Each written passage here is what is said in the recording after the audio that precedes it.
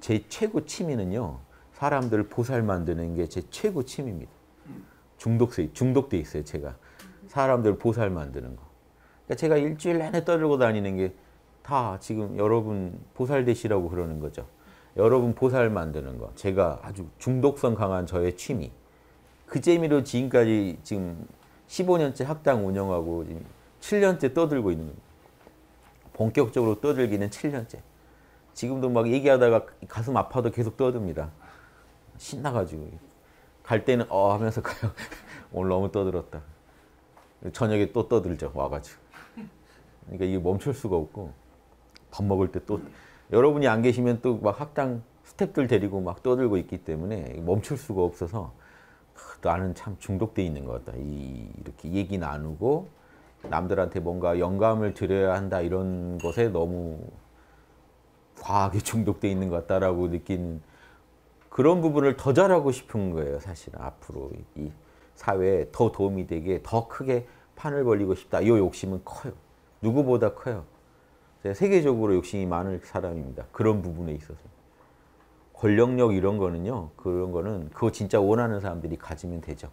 그래서 다만 권력력을 소시오패스가 가지면 국민들이 고생을 해요. 그러니까 어쩔 수 없이 보살들이 나서서 그런 권력 있는 자리에도 보살들이 가주셔야 될 거예요. 꼭 뭐 제가 아니라 많은 유능한 보살들이 가주셔야 돼요. 저는 유능한 보살들을 많이 만들어내는 게 제 욕심입니다. 우리 민족이 딱 한 덩어리가 돼서 동지적 관계, 홍익인간 이념으로 동지가 되면 이게 예전에 홍익인간 이화세계 이 신시라고 해서 그런 세계가 한번 열렸었죠.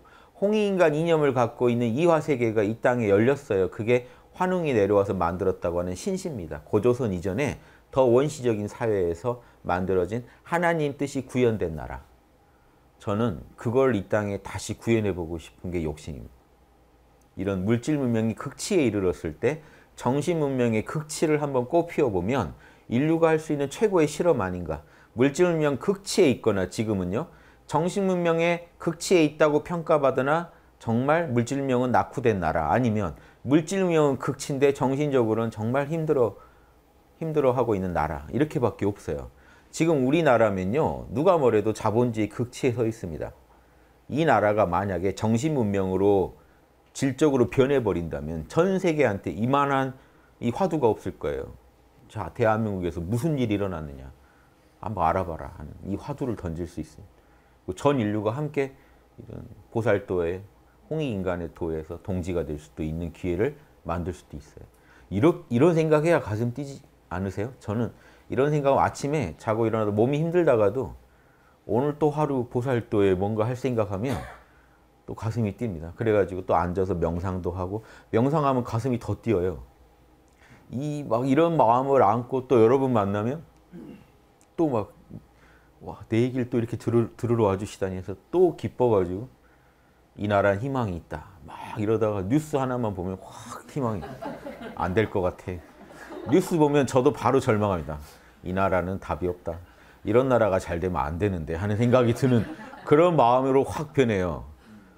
그래서 다시 또 명상하고 그러면 또 다시 희망이 샘솟습니다. 또, 또 저녁에 또 저녁팀을 만나면 또 막 타오르고. 하루에 그냥 왔다 갔다 합니다. 근데 이렇게 살래요. 그래서 왔다 갔다 하면서. 죽을 때까지 이러고 살겠죠. 그러면서 왔다 갔다 하는데 희망이 조금씩 커져가면 성공 아닙니까? 제가 산 보람이 있죠. 이 땅에 산 보람이 있어요.